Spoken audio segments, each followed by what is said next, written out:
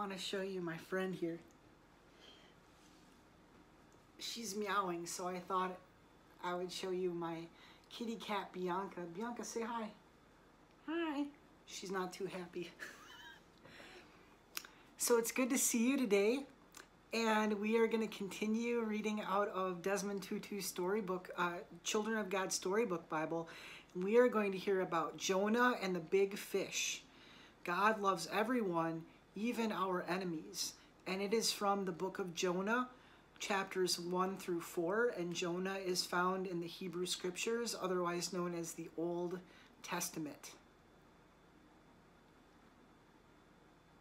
Go to Nineveh, God said to Jonah. Tell the people there that if they do not stop their cruelty, I will destroy their city.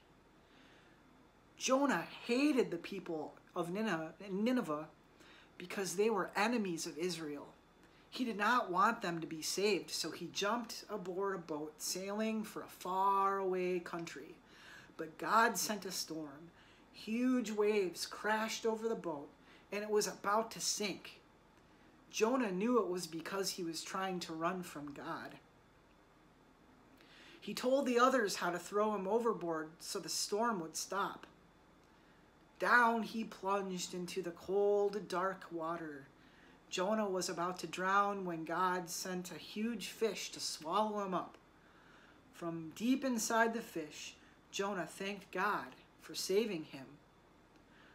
The fish burped out Jonah onto the beach. Go to Nineveh, God said again.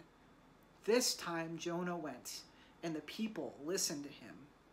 They asked for forgiveness, and God did not destroy them.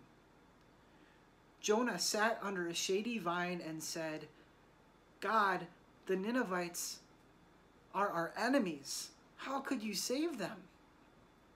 To which God replied, They are your enemies, but they are my children too. Let us pray. Dear God, help me to love my enemies. In your name we pray. Amen. Have a good day.